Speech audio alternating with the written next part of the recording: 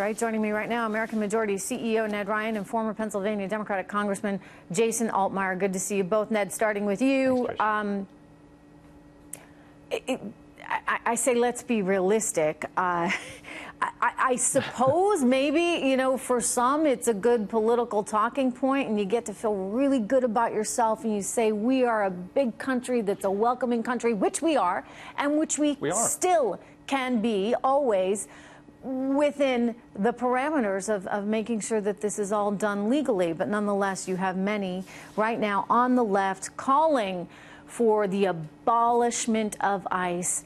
What is your reaction? I find this honesty deeply refreshing that some of these Democrats are actually dropping the pretense and openly embracing open borders and also siding with illegal immigrants against the American taxpayer because that's refreshing. really what this is about. You Trish. find it. It's an interesting I do find it refreshing choice. because I think I, I think the Democrat Party, many of them have been masquerading as center left, when in fact I think they are moving moving further and further far left. And I think they're compelled to do so because of their donor base and, and their grassroots. They're going further and further left, and they're finding themselves more outside the mainstream of the American people, Trish. You look at these recent polls on immigration, two thirds of the American people want arrest and deportation at the border.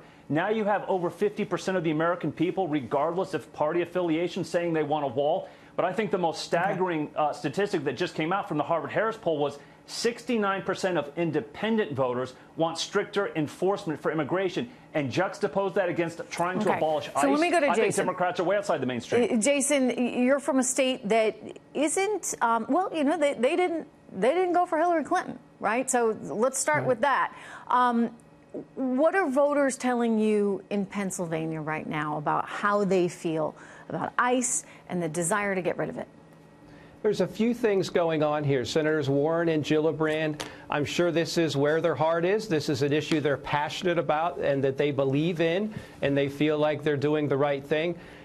On the moral side, the Democrats had an issue with the separation of children on the border that was working for them, uh, less importantly politically, but more importantly, they were morally in the place where I feel that they should have been. They're in danger now, however, of moving beyond that. When you talk about abolishing ICE, which is in charge, as you know, of domestic crimes such as drugs, child trafficking, violent crimes of immigrants, that's when you start to run into trouble. And I would disagree with that point of view just on mm-hmm. policy, but on politics, that's a very dangerous place for Democrats to go in states yep. where President Trump did well and yeah. won the election last time. That's a very interesting point.